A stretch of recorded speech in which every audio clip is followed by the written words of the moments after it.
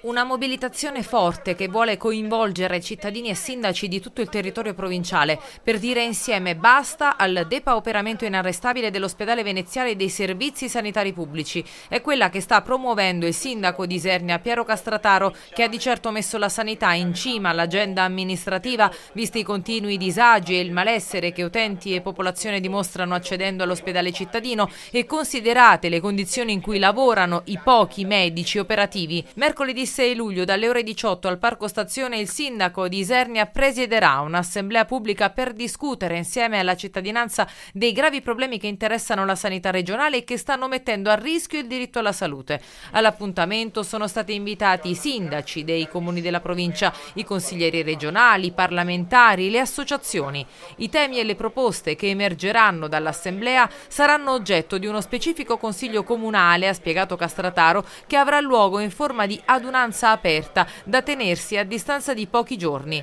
Un incontro che arriva dopo un'altra presa di posizione forte da parte dell'amministrazione comunale, sempre in favore della sanità pubblica e della formazione universitaria. Il sindaco e l'intera giunta hanno lanciato accuse all'indirizzo del governatore Toma, reo di non essersi impegnato nel prorogare la convenzione tra Regione Asrem e la Sapienza di Roma, necessaria a confermare la sede di Isernia per il corso di laurea in scienze infermieristiche dell'Ateneo Capitolino, corso allocato nel Palazzo della Curia Vescovile in via Mazzini. Ed è proprio davanti all'ex sede Unimol che il sindaco Castrataro ha spiegato come il decreto provvisorio delle assegnazioni dei posti non prevede Isernia. Registriamo quindi eh, le parole tra virgolette del presidente Toma che quando è venuto qui mesi fa aveva promesso che Isernia non avrebbe mai perso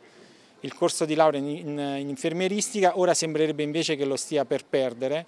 questo potrebbe essere un danno per la città e per l'intero territorio, soprattutto considerando il fatto che sono ben più di 200 persone che nei tre anni frequentano il corso.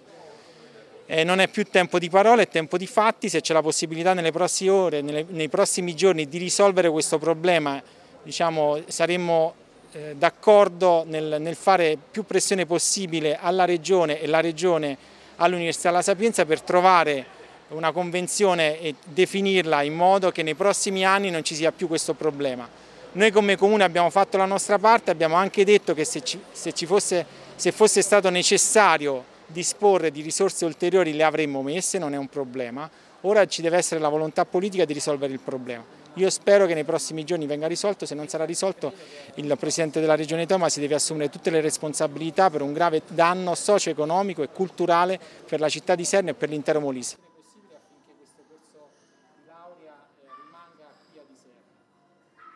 Aspettiamo le, le prossime ore, vediamo quello